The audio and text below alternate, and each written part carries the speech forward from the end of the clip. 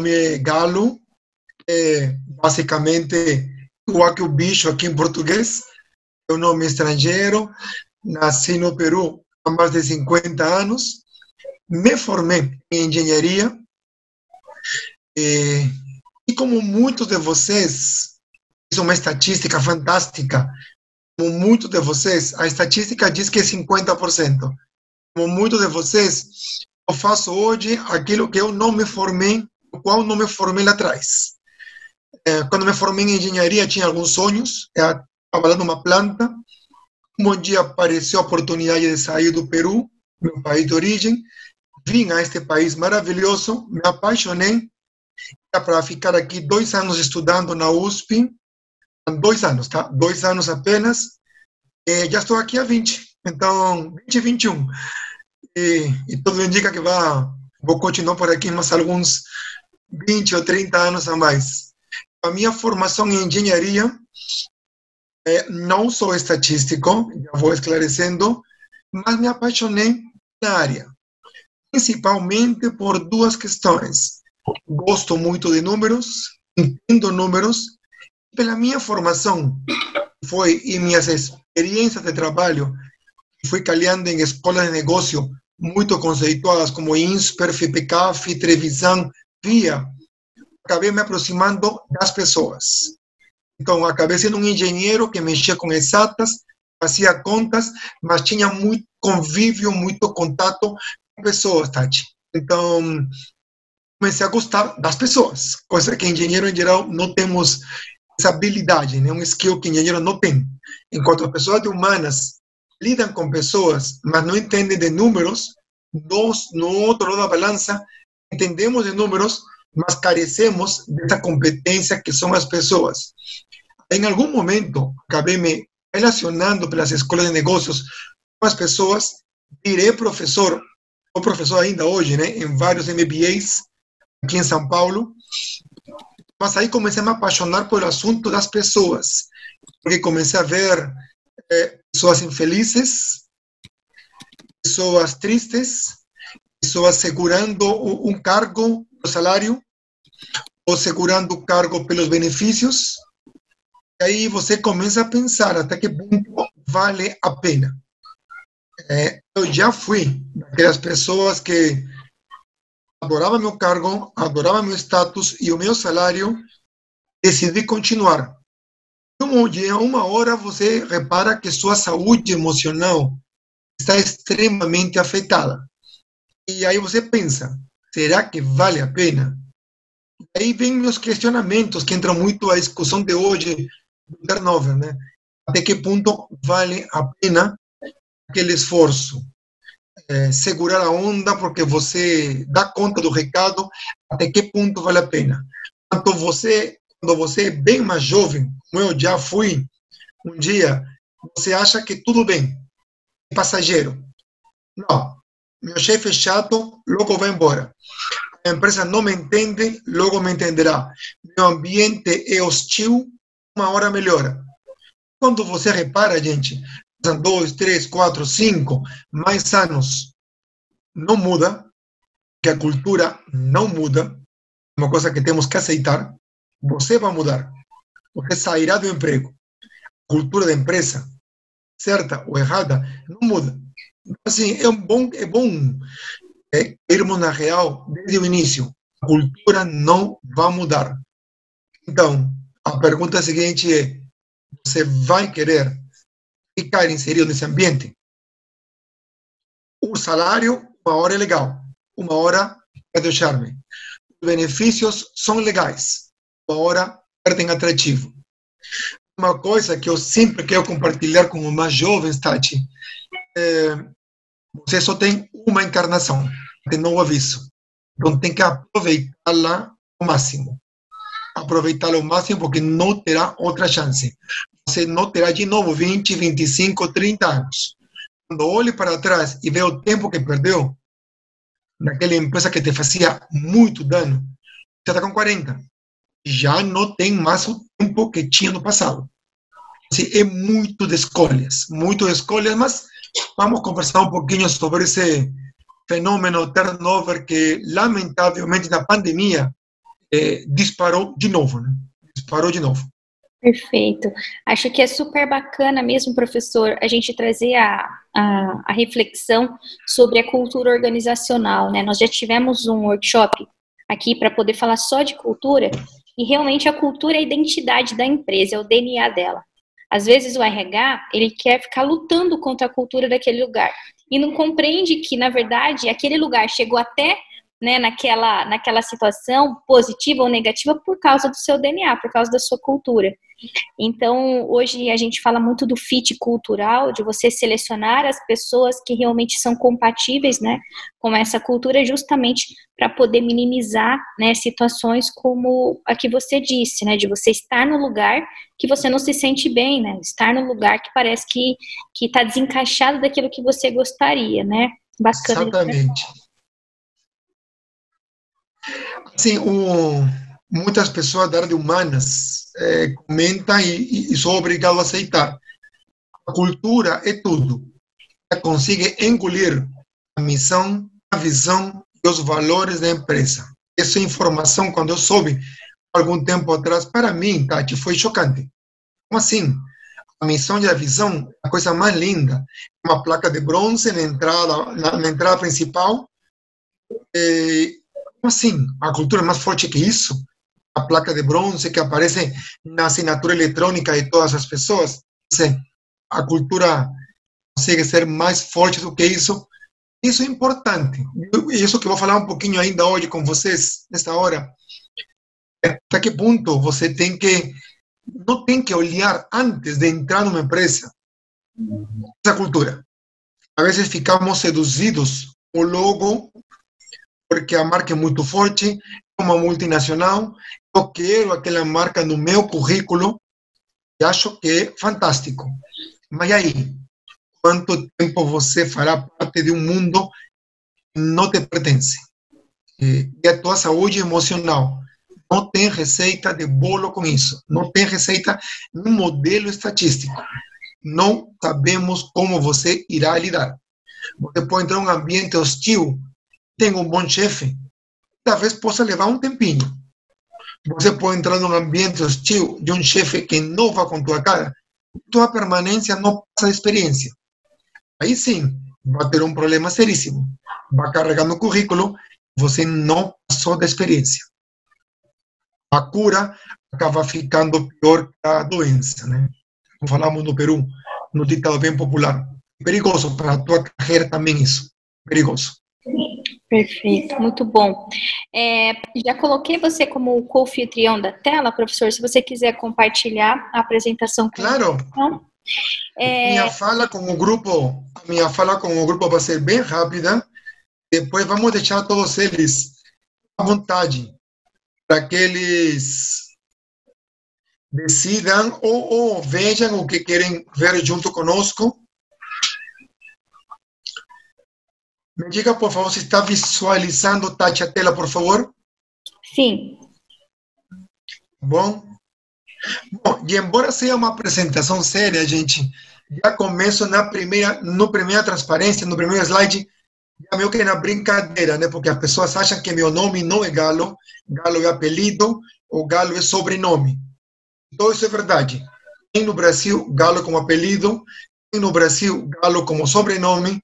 No meu caso, o Galo é meu nome de batismo. É, já falei, não nasci aqui, então tenho desculpas de ter um nome estranho. Isso, já me apresentei com vocês. Sou apaixonado por estatística, por People Analytics. E, e tenho a vantagem de que, além de entender disso, lido muito com pessoas há bastantes anos isso me deu uma, uma bagagem, entender um pouquinho nas, eh, o que acontece dentro das empresas, os fenômenos que temos que enfrentar no dia a dia.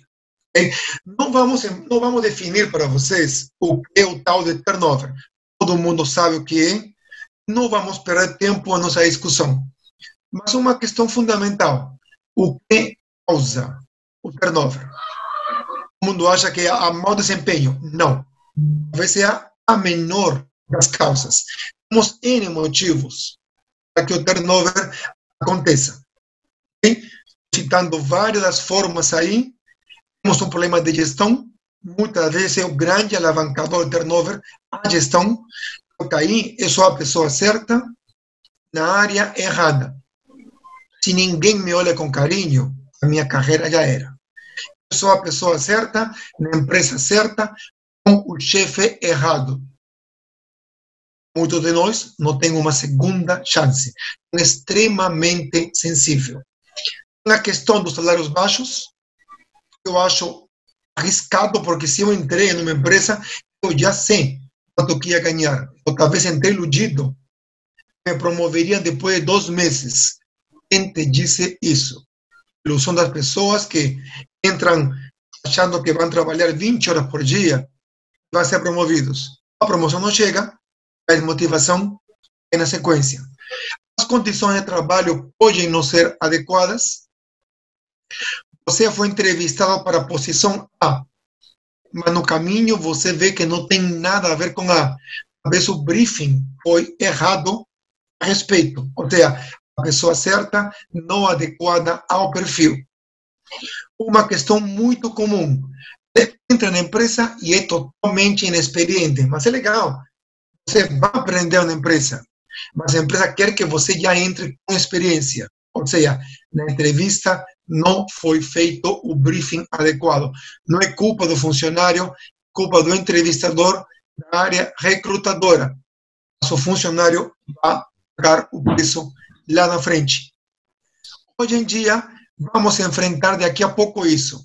Por conta da pandemia, teve uma demissão, infelizmente, na média de mais 2 milhões de brasileiros desempregados uma hora o mercado vai aquecer, vai sair, vão começar os contratos de novo.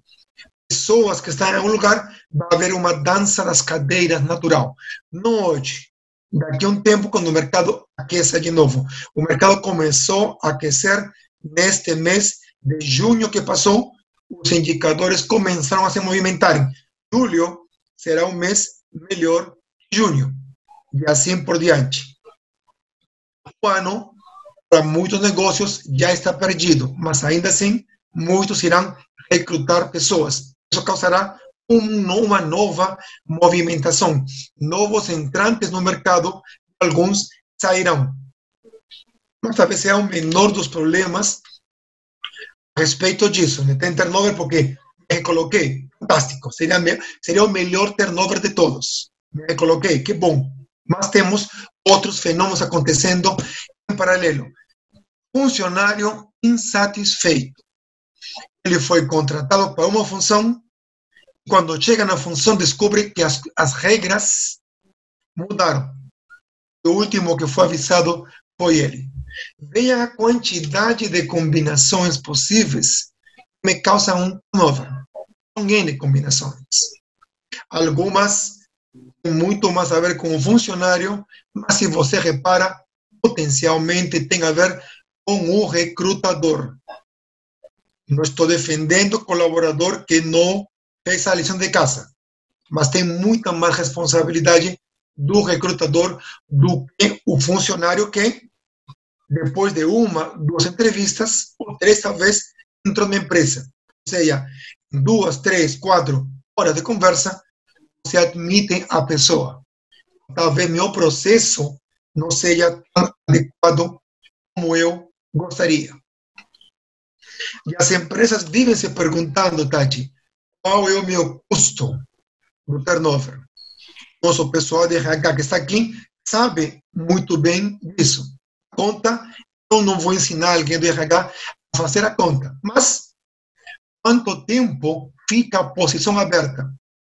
Enquanto isso, quem está trabalhando nessa função? Quem está suprindo as necessidades da área da vaga em aberto? Certamente recarregou em outras pessoas. Alguém está sobrecarregando ou as funções não estão sendo devidamente realizadas. O RH tem que sair correndo para um novo processo, um custo.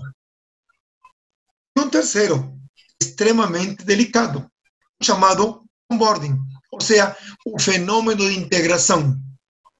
Quanto tempo dura? Não sabemos. Algumas pesquisas falam que as pessoas só conseguem produzir efetivamente para a empresa depois dos seis meses. Estamos no Brasil, nosso lindo país, muitos de nós já enfrentamos. Nossa integração em muita empresa no Brasil, Tati, demora três dias. Assim que as pessoas sabem que nós já recebemos login e senha, já e-mail, fala, Tati, bem-vinda ao circo, bora trabalhar. No quarto dia, acabou tua integração e sem entender a tua empresa, você já está respondendo e-mails, tomando decisões. Olhem, loucura nós vivemos não está demais dizer para vocês o futuro dessa história macabra. Mas vemos isso acontecer frequentemente. Se a empresa é muito mais séria, demora um, dois meses. Estamos longe dos seis ideais. Um ou dois meses, a pessoa já está integrada e trabalhando. Supondo que seja idealmente esse prazo, em um ou dois meses, a pessoa não produziu, só passou pela integração. São dois meses que pagamos salário não recebemos retorno. Imaginem perdermos esse colaborador. Volta tudo para o estágio zero. Outra vez para o estágio menos um, menos dois, inclusive. Sim, o turnover é muito alto. Muito alto. A solução seria simplesmente não demitir ou contratar melhor vamos discutir um pouquinho isso dentro de hoje. Mas, óbvio, nem tudo é notícia ruim. Tem algum benefício no nosso mercado? É, o tal de turnover? Professor, Pensando na empresa, diga. Vou, vamos ver se o pessoal que está acompanhando com a gente, se eles sabem é, qual é a métrica que a gente utiliza aproximada do slide anterior do custo do turnover. Claro. Elizabeth, Patrícia, Natália, Dani, quem, quem arrisca chutar? Ah, Tati, Galo, eu acho que custa X reais ou X% do salário do, do colaborador. Vamos colocar um colaborador que é demitido ou desligado nos três primeiros meses de, de experiência, né? Então, ele não passa dos 90 dias na empresa. Vamos ver se o pessoal consegue consegue arriscar aí. Então, sem, né, sem nenhum tipo de pretensão de certo ou de errado, nós vamos ver se vocês têm algum número na cabeça, porque é bacana vocês trabalharem. Varia de empresa para empresa, mas a gente tem uma, uma métrica média que a gente utiliza dentro dos processos para a gente poder medir custo de turnover, o custo do turnover, quanto custa financeiramente é, ele. Vamos ver quem, quem consegue arriscar aí. O pessoal tá tímido hoje, Galo. Vendo, tô vendo. Eles estão tímidos. Espero não ter assustado ninguém com minha fala inicial. Será que eles ficaram meio que com medo de você? Tão estranhos hoje, hein? Vamos ver, ninguém vai arriscar. Que feio. Ninguém tá arriscando aí, vamos lá. Pode, Thaís, pode ser percentual, pode ser percentual. Quanto você acha que custa em percentual uns 40%, por, 40 do, do, do valor do salário da pessoa? Pode ser isso, tá? Ok, estamos contando então. Alguém dá mais ou menos que 40%? Vamos ver aí. Se, se é o um número. A, a Thaisa botou um número. A Thaisa colocou um número. Não tem ideia do valor, mas o valor desligamento é pelo menos três vezes o valor do salário dele, somando isso ao tempo todo das pessoas que foi colocado. Isso, mas aí a gente está falando do custo de rescisão, do custo rescisório a gente vai, Pati, desconsiderar todas as verbas rescisórias uhum. e a gente uhum. vai colocar o custo de, é, de turnover. Então, de quando a pessoa entra até a pessoa sair, sem contar a rescisão dela, tá? Legal que a Patrícia trouxe, mas é sem contar a rescisão. É, meu nome é Alianza Aparecida, moro. Ah, gerente de RH. Oi, Alianza, seja muito bem-vinda novamente, viu? Imagina, tá no trânsito, tem problema nenhum. Estamos conversando aqui com vocês. Mais alguém? Então a gente está com 40% e 60% aqui. É isso? Posso, posso falar a taxa que a, gente, que a gente já utiliza? A gente utiliza considerando todos os custos que o professor disse. Custo da posição aberta, custo de recrutamento e seleção, o custo de onboard, né, o custo de integração, antes daquele, antes daquele, né, do, do, do, funcionário realmente estar produzindo, os funcionários que vão precisar treinar esse funcionário no onboard, né, a gente fala assim, ah, onboard é só integração com RH, o onboard acontece o tempo todo, ele para, as pessoas do, né, do, eh, as pessoas das posições precisam parar para poder repassar metodologia para ele, o gestor tem que parar para poder repassar metodologia. A gente considera 200% o custo de turnover sem falar de verbas rescisórias. Então, esse é o número aproximado quando a gente pega o salário da pessoa e aí a gente pega todos os custos envolvidos. Então, 200% é o valor que vocês podem considerar aproximado como uma média, né? de custo de turnover. E vocês podem chegar nessa conta na empresa de vocês também, tá? Então, para você poder chegar na conta, tem que pegar minuciosamente tudo o que é envolvido o processo, né? Então, tempo dos recrutadores, o tempo que a posição ficou aberta, o tempo de onboard, é, as, as, os benefícios e, e todas as, né, todas as os processos que vão precisar existir para que exames médicos, exatamente, tudo isso, para que vá, né, para que o profissional possa estar pronto para pronto para iniciar a, a, sua jornada. Então, tudo isso sem contar verbas rescisórias. A gente não está contando férias, décimo terceiro, fundo de garantia, isso está tudo fora. A gente está falando só realmente do custo de turnover. Você chegou a fazer algum, algum cálculo, Galo, nesse, nesse sentido, em percentual? Não, a, a conta que eu tinha era, era basicamente isso. Para cada, para cada uma unidade monetária do colaborador, o custo do processo, sem verba rescisória, era o dobro. É isso. Exatamente. É isso. É Sim. Só que as pessoas, viu aqui, pessoas de RH, 40%, 60%, é, o custo é bem mais elevado, né? Bem mais elevado. Exato. Então a gente. Porque aqui nem estamos, nem estamos colocando o tempo que a posição, depois da saída do colaborador, ficará em aberto. Exatamente. Aí o custo só vai aumentar. Exato. Quanto mais. É bem mais, é. bem mais nocivo do, do que parece é. esse tal de turnover. É bem mais nocivo. E a gente não para para poder fazer esses cálculos. Então, às vezes, é, existe o turnover, existe a rotatividade, a gente sabe que isso não é bom, mas a empresa não calcula o quanto isso não é bom. Então, é importante o RH trabalhar com esse, né, o, RH trabalhar com essa com essa métrica, principalmente de é, não efetivados em processo de experiência, que é onde o dinheiro, né, onde a gente gasta mais dinheiro. Não deu tempo do funcionário é, retornar o investimento que foi feito ainda, por isso que é custo. Mas agora o Galo vai entrar nos benefícios. Nada, né? Nada é só ruim. Mas é nada é, ruim. Nada é só ruim, né? É, Mas é Nada é só ruim, é verdade. Bom, tem algum benefício? Turnover, já que só é financeiro, só é desgaste, só é perda de imagem, perda de pessoas. Para nós, como empresa, né? para a empresa, para o RH, para as, os sócios, algum benefício? Turnover? Tem alguns dois para mim são extremamente fundamentais. Um deles que é o aprendizado. Eu, como empresa, eu tenho um turnover, cada um na sua empresa sabe, 10, 15, 20, 30%, cada um sabe quanto que é esse turnover. É,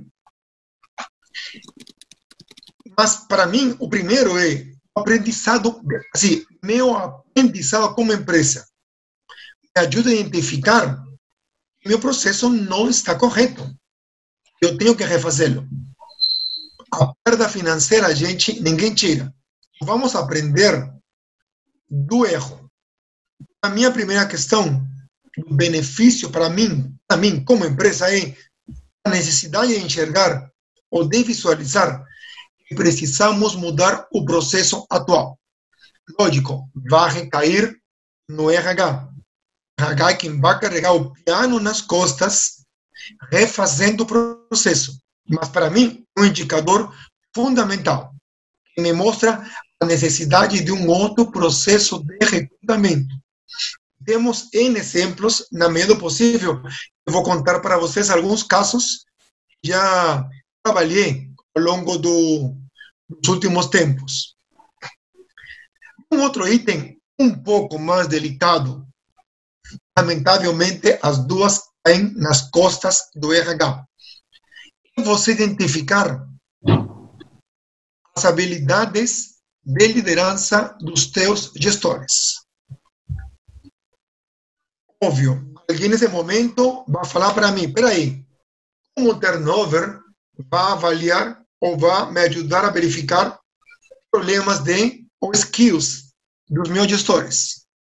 Deixem contextualizar um exemplo. Ano passado fiz uma consultoria, uma empresa de diagnóstica muito grande no Brasil, tinha um turnover na casa de 25%. Para o mercado deles, eles falavam que, ok. Porque esse ok significava, pelo menos, 6 mil pessoas por ano. Na continha, muito dinheiro. E conduziu um projeto interno de. O projeto era reduzir o turnover, identificar as variáveis que estavam alavancando o turnover. Não vou contar a história do projeto, mas um percentual importante de pessoas que saía, saía antes dos seis meses. Antes dos seis meses, a pessoa se desligava. Sempre as pessoas pensando errada, ah, alguém entrou no seguro-desemprego. É, tem uma pergunta aí, Margarita, já respondo. É, como saber isso daí? Ok, temos que cruzar uma coisa que muito se fala na minha área, quando precisamos muito do RH, que são as pessoas, e nós fornecemos números, o RH fornece experiências. O primeiro diagnóstico, Tati, foi tem muitas pessoas saindo seis meses. Alguns pedem saída na, na experiência. Ok, não se adaptou mas de três a seis meses, a pessoa tem experiência. O que tirou ela do emprego? Aí começa a cruzar com as entrevistas de desligamento. Isso é uma questão muito importante para o nosso RH. RH tem que documentar. Documentar. Quando pedimos para esta empresa a documentação, saiu óbvio. Sem, você é exagerado, tá? quase 100% das pessoas que foram desligadas de três a seis meses, na entrevista de desligamento, falou que o ambiente era maravilhoso, adorava o gestor, que ela, como pessoa, não se encontrou na empresa. Parecia uma resposta muito ensaiada. Na estatística, falamos e tem muitas respostas iguais, um viés. Alguma coisa está acontecendo. Gente, óbvio, a pessoa já tinha saído da empresa, não devia mais satisfação para nós. Vamos tentar, vamos tentar ligar para elas. Foi minha proposta. Gente, a pessoa não tem nada a perder, está fora da empresa. Liga. Conclusão, Tati ligamos para 30 pessoas, 25 das 30 admitiram que não tinham falado a verdade na entrevista de desligamento por medo a que alguém mexesse com a verba rescisória. Olha a loucura. Ou seja, uma informação valiosa em entrevista de desligamento não me servia para nada. Estava toda adulterada. Adulterada porque o colaborador cismou ou alguém convenceu a falar bem de todo mundo, caso as ver, não as verbas rescisórias iriam afetar. É complicado, mas óbvio, nos deu um indicador. Estamos com um problema da chefia. Se alguém queria um indicador, está aqui. Mas só aprendemos cruzando, cruzando. A Margarida comentou como saber qual é o indicador adequado da minha empresa. Margarida, é, depende de empresa para empresa. Cada empresa já sabe meio que os números básicos. Não vou te falar um número mágico, mas em a minha empresa, alguém me diz 25, 30%, eu digo que também está alto. Mas no Brasil, o call center consegue chegar a 90% por ano. Muito gestor de contact center me diz, Galo, é 90% o ano, mas tudo bem, mercado. As pessoas nem se incomodam, porque dizem que o mercado deles suporta isso. Já havia empresa que com, empresa que com 15% fica assustada. Então depende muito de segmento a segmento.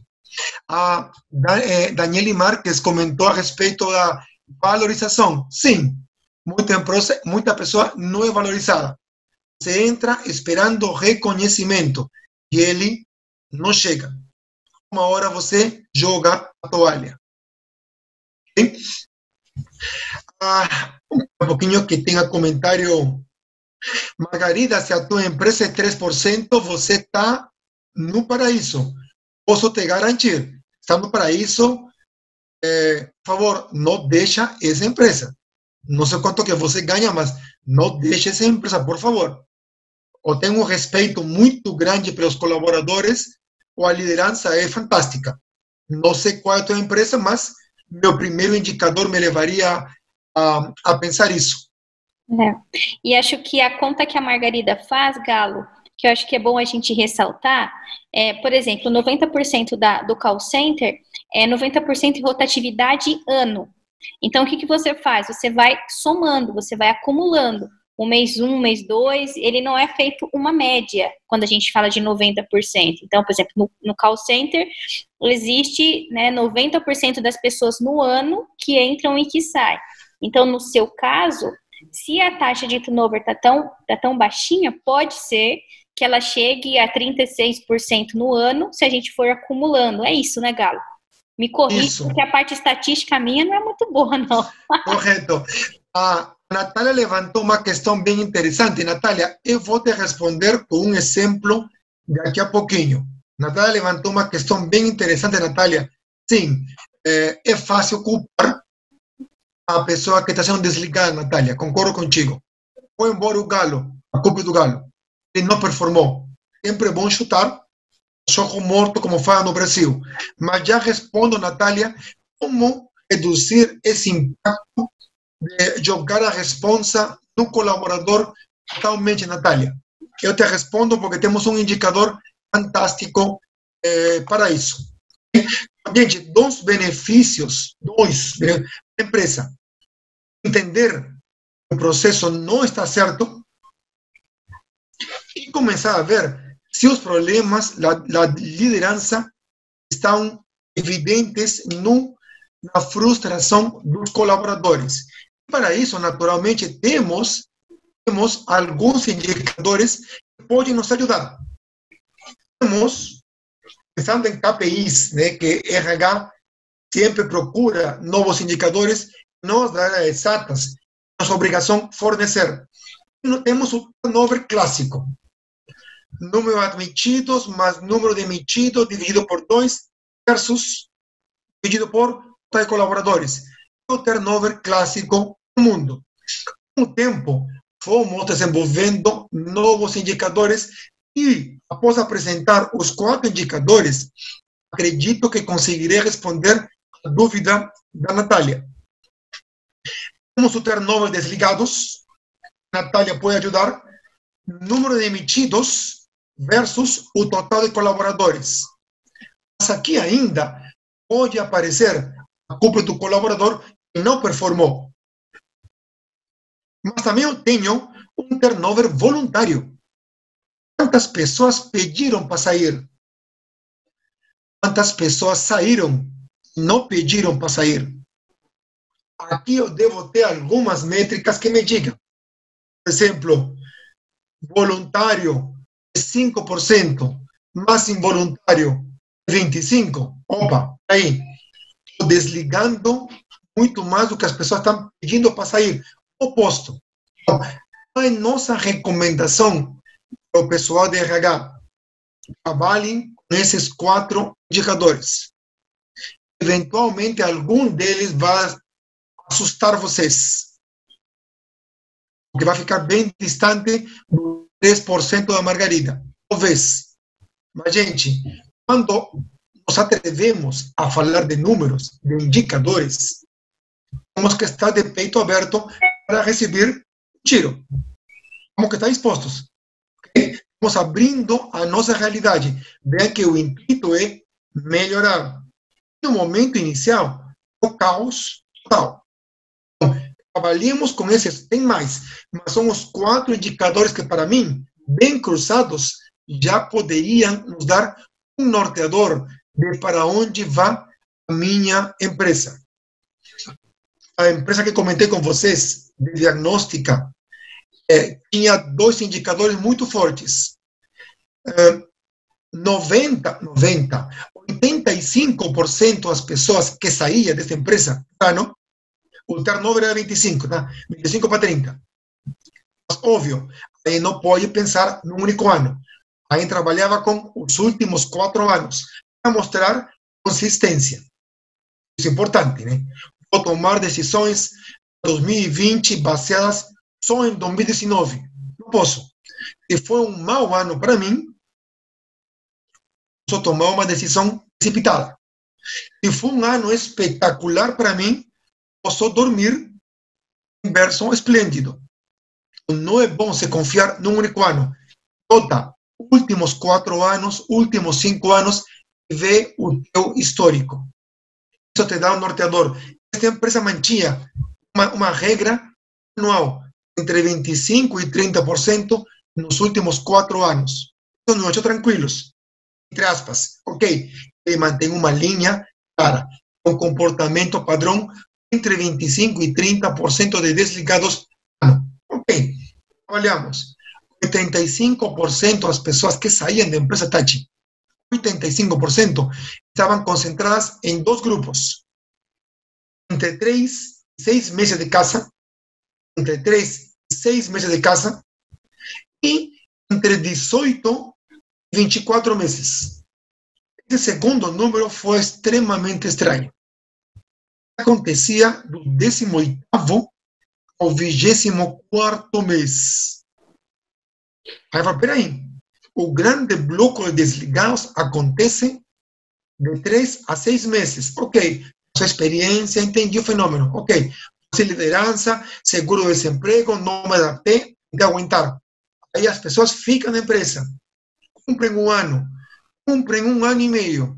Um ano e meio a dois anos, uma nova leva de desligados. A gente teve que cruzar números. De aí a importância de você ter RH, números. Aí cruzou com números. Quem são essas pessoas? De onde vêm essas áreas? Quais são os salários? Qual foi a movimentação salarial?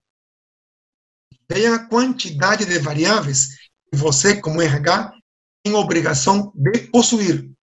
Algumas elas tinham, outras eles tiveram que vasculhar no fundo do baú que não tinha.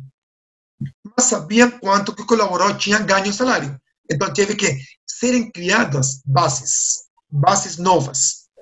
Quanto que ganhou no mês 1, mês 2, mês 3, mês 8, mês 9, de acréscimo, de decídio, de prêmio, de PLR, e sim, quando pagou. Gente, é documentar. Só para contar a história curta. Descobrimos. As pessoas, como falou uma colega por aí, depois da Natália, acho que foi Patrícia, não Patrícia não, as pessoas, Tati, esperavam reconhecimento chegava no ano, não teve. Vamos, vamos esperar um pouco mais.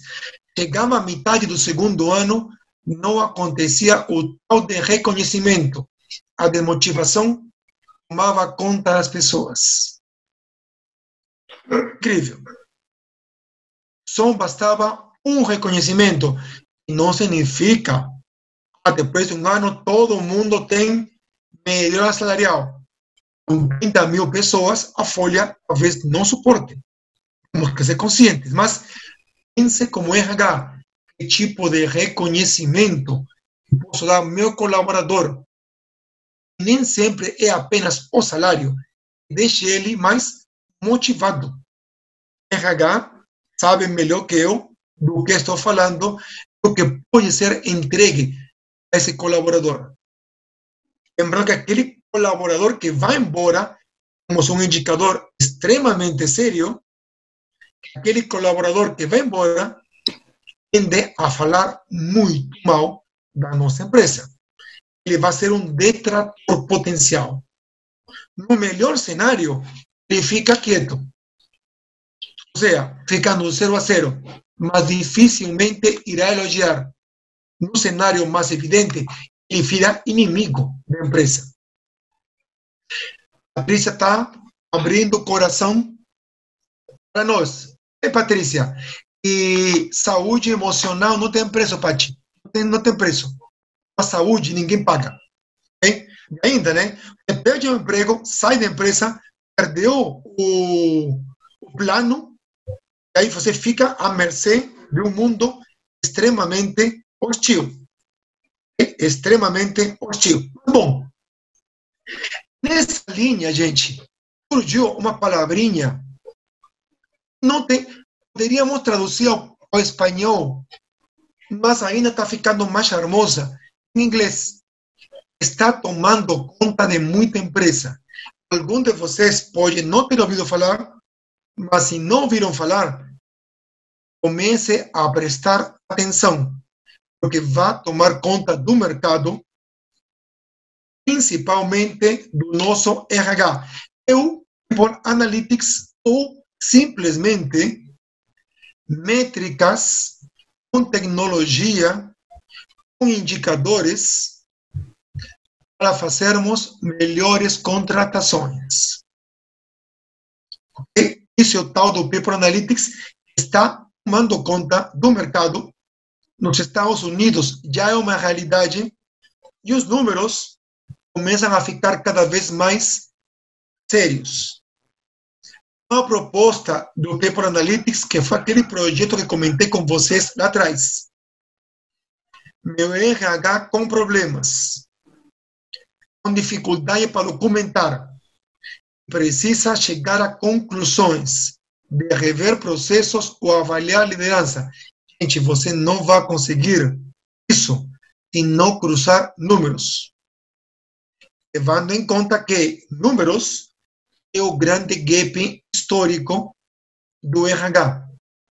Como saber lidar com pessoas é o grande gap de nós que mexemos números.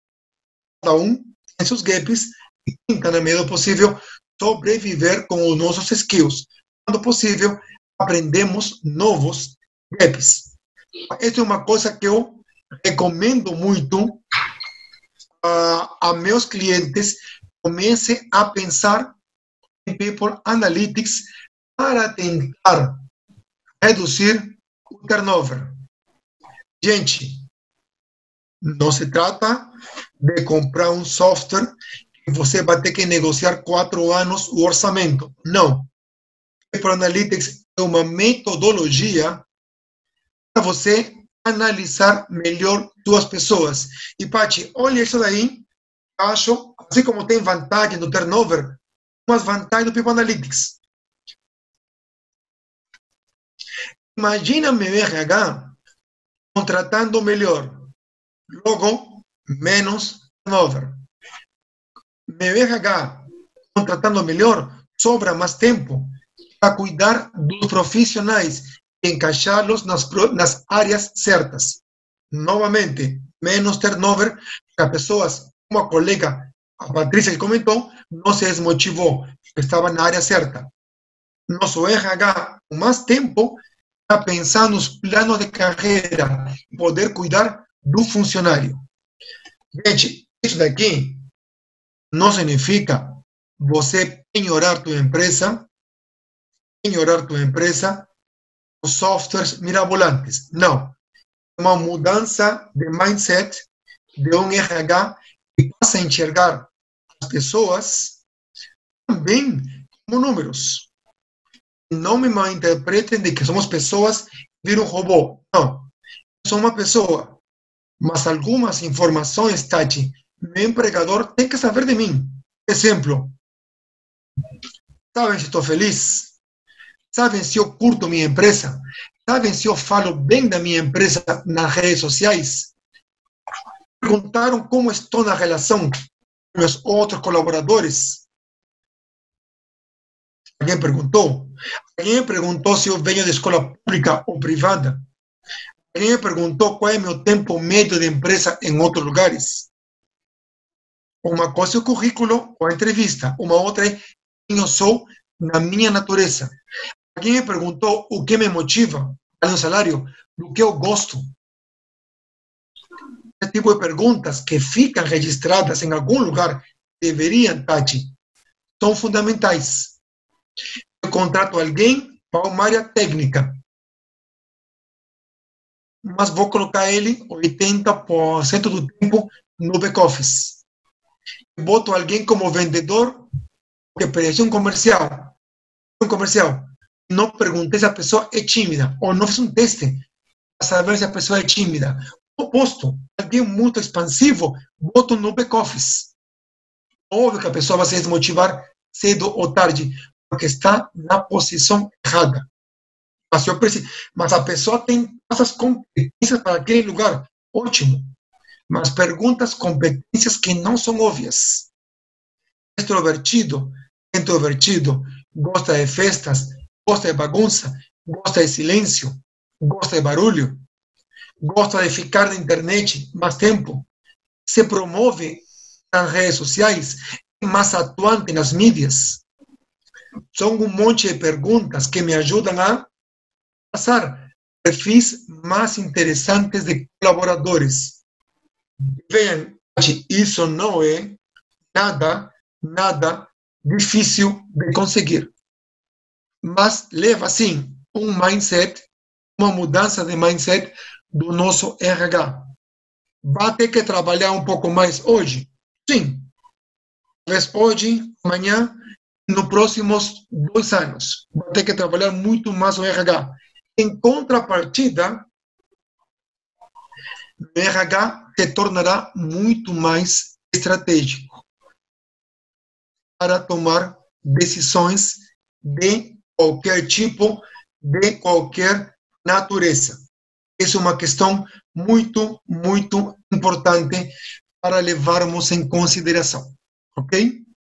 Não quero me explanar mais, fico ao dispor para, para eventuais perguntas é, porque temos que entender os dois lados da, da, da mesa. Se tiver alguma consideração, é, é importante. É, eu acho. Patrícia, é, a, a Patrícia comentou. Patrícia, você pediu ajuda a todo mundo, ninguém te escutou. Um sinal claro, Patrícia, que você você é a pessoa certa na empresa errada Provavelmente, Patrícia. Provavelmente. Okay? Essa empresa que não te escutou vai pagar o preço em algum momento, que deve ter mais Patrícias na lista. Segura, é, seguramente. É isso mesmo, quando a gente fala dessa questão de people analytics, né, do pessoal falar assim, ah, ok, mas eu preciso de um software para isso e tudo mais, a gente entende, né, que analisar dados precisa ser algo que primeiro o RH queira fazer, não delegue isso, né? Então é, é número que ele consegue buscar. E o Analytics, na verdade, é cruzamento de dados, né? Então, às vezes o pessoal fala assim, Tati, eu tenho um KPI na minha empresa, né? Aí fala assim, eu tenho um analítico, um people analytics. Não tem, você tem um KPI. Então, o turnover pelo turnover, ele é só um indicador, ele não é um analytics. Agora, Exatamente. você pegar o indicador e cruzar com outros dados para você verificar é, similaridades, né, é, coisas que, é, situações acentuadas para você compreender o que, que pode estar tá acontecendo com aquelas pessoas, aí a gente já vai estar tá falando mais de People Analytics, né, professor? Exatamente, e uma questão importante, bom, estamos gravando e está tá indo ao vivo, né, Paty? Tá. Posso apanhar, eu posso apanhar amanhã das empresas de software, porque estou estragando o negócio, mas acima de tudo sou professor. E como professor, eu me cobro muito de levar a verdade o tempo inteiro. Então, para o nosso RH, funcionário, para as pessoas embaixo do RH, o Analytics é uma metodologia que veio a deixar todo mundo, não é um jargão, por favor, deixar todo mundo mais feliz. Mas para sermos todos mais felizes, temos que ter claro quem nós somos e ter claro todos os nossos interesses. No SRH, mudar de mindset, não reduzir a contratação a uma entrevista de uma hora, uma dinâmica com 10 pessoas juntas, porque pode fazer parte da dinâmica de contratação. Vou ver o estresse de 10 pessoas juntas, mas tem que ter aquela entrevista individual, aquela segunda opinião, aquela terceira opinião. Importante. Já vimos os custos de botar uma pessoa não vai ficar na minha empresa. Custo alto. Mas ainda assim, muita empresa insiste, Tati, a entrevista de contratação é uma hora, uma hora e meia, uma dinâmica, escolho quem se saiu melhor da dinâmica dos 10, contrato. Estou contratando alguém que suportou melhor a pressão de quatro horas numa dinâmica. Isso é suficiente para dar conta da função dentro da empresa? Provavelmente não. O que vai acontecer daqui a pouco? Aquela pessoa que se deu bem naquela dinâmica bagunçada de quatro horas não se adequa. Eu volto a fazer uma nova dinâmica. Consigo é, cometer o mesmo erro com duas, com duas pessoas. Carolina, você levantou uma questão importante. É, as pessoas são responsabilidade da empresa, não apenas do RH. Okay? RH tem que entender que o trabalho dela é cuidar pessoas mas cuidar pessoas é responsabilidade da empresa inteira. Se a diretoria lá em cima não está comprada, dificilmente o RH vai conseguir implementar as mudanças. Um detalhe importante, Tati, qualquer projeto People Analytics que ter o ok da alta direção, porque eles vão empenhar esforços em conhecer melhor as pessoas. É isso mesmo. Acho que tem muita coisa para a gente poder discutir a respeito desse assunto ainda. Né? A gente tem uma horinha aí programada para nosso, os nossos debates. É, se o pessoal tiver mais alguma questão e quiser aproveitar o professor, aproveitem aí para gente, né, para vocês poderem tirar dúvida. E, enquanto isso, professor, queria que você pudesse deixar os seus contatos para a gente né, para o pessoal que está acompanhando claro. poder continuar essa discussão contigo nas suas redes sociais, enfim. Gente, eu estou. Não me, não me acho um cara midiático, mas gosto de transitar na, nas mídias. Esse é um recado fundamental para todas as pessoas. É, nós temos que ter um comportamento muito adequado nas mídias. Passou Gente, passou aquele tempo onde nós falávamos, cumpra um expediente, o que eu fizer após o expediente é o meu problema. Gente, acabou esse tempo. Aí teve um caso recente, no Rio de Janeiro, a pessoa foi filmada agredindo verbalmente um guarda. Estava cumprindo o trabalho. De uma empresa de energia do Rio de Janeiro. Todo mundo viu o caso, se espalhou pela mídia, saíram os vídeos, aconteceu. Da noite, foi feito aquela, aquele flagrante com aquela moça, passaram 12 horas, menos de 12 horas, a empresa demitir a funcionária por justa causa. Mas a pessoa estava bebendo num bar fora do horário de expediente a pessoa entendeu, a empresa entendeu, a, a, o funcionário é uma extensão da empresa. Fora do expediente, estava representando também a empresa. Gente, não foi demissão, Ok, foi demissão por justa causa. Esse exemplo infeliz, triste, nos leva a uma questão importante. Cuidado com o teu posicionamento nas mídias sociais. Eu estou nas três, mas eu tomo muito cuidado o que eu faço em cada uma. Porque, afinal de contas, não falar, ah, professor Galo brincalhão, o professor Galo sério. O professor Galo. Não importa em que mídia esteja.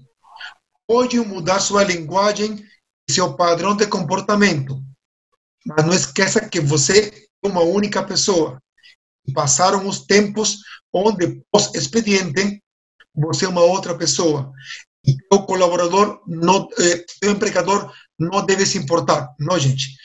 O empregador se importa. Se você quer ir mais longe, muitos de nós já estamos sendo mapeados pós-expediente. É um novo mundo. É um novo mundo que estamos vivendo. E gostando ou não desse mundo, estamos todos nós inseridos. É isso. Algumas pessoas, por cuidado, Tati. Então, Galo, eu não vou me eu vou arriscar, vou cancelar meu Insta, vou cancelar meu Face. É uma escolha. Porque aí você vira uma pessoa sombra. Ninguém mais sabe de você. Também pode ser prejudicial a tua imagem, né? Tem a Tati, a Tati não tem Insta, a Tati não tem Face. Tem a Tati está se escondendo. Longe de pensar, a Tati não quer, quer que respeitem a privacidade, o mundo vai entender Tati o oposto. A Tati está aprontando alguma coisa, não tem mídias sociais. Um mundo sem volta.